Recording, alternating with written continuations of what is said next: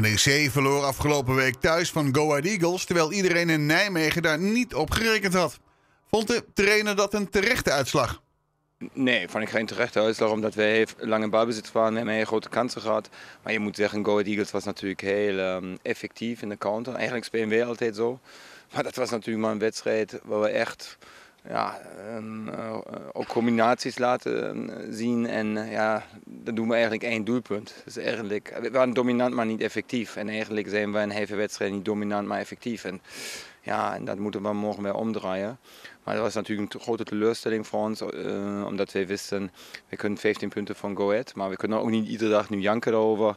Het is gebeurd, klaar. Uh, we hebben zondag direct oefenwedstrijd tegen een Duitse team voor de, voor de wisselspelers. En niet meer aan Go Ahead denken, analyse gedaan en doorgaan.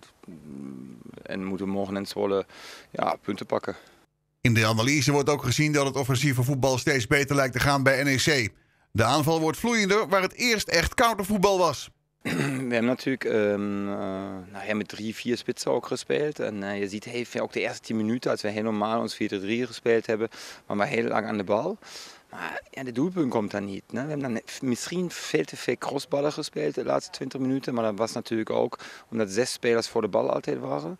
Ja, kijk, en dan uh, zeg je, ja, uh, super tactiek Willem II. Daar komt die ene doelpunt en ja, uh, nu is het doelpunt niet gekomen en het was alles slecht. Maar dat was niet alles slecht. Jongens hebben alles gegeven, jongens zijn goed, de jongens proberen alles. En ik denk dat we morgen niet zo dominant zijn, maar ik hoop dat we effectief zijn. Wat verwacht de trainer van PEC Zwolle in deze wedstrijd? Dat zij dominant zijn, dat zij proberen heel veel voetbaltechnische dingen te doen. Dat zij door een lopende middenveld ons onder druk zetten willen.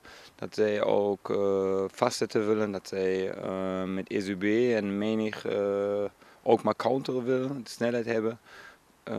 ik verwacht dat uh, Pek meer de bal heeft als wij. En dan komen we weer in ons countervoetbalmanier.